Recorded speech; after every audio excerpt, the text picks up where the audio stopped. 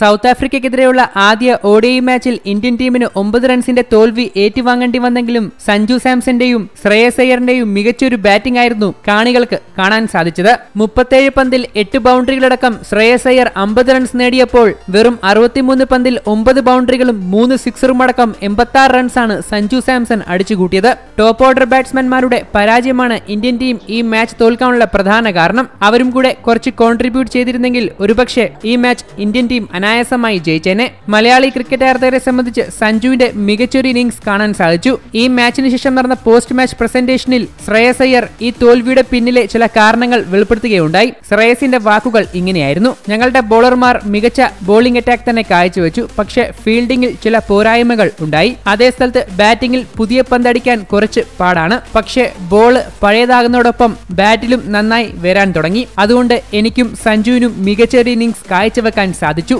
സഞ്ജുവിനോടൊപ്പം batting ചെയ്യുന്നത് എനിക്ക് വളരെ ഏറെ ഇഷ്ടമാണ്. സഞ്ജുവിന്റെ ബാറ്റിംഗും ഞാൻ നന്നായി തന്നെ എൻജോയ് ചെയ്തു. ഇത് ക്രിക്കറ്റാണ്. ഇവിടെ എന്ത് വേണമെങ്കിലും സംഭവിക്കാം എന്ന് പറഞ്ഞായിരുന്നു ശ്രേയസ് അയ്യർ തന്റെ വാക്കുകൾ അവസാനിപ്പിച്ചത്.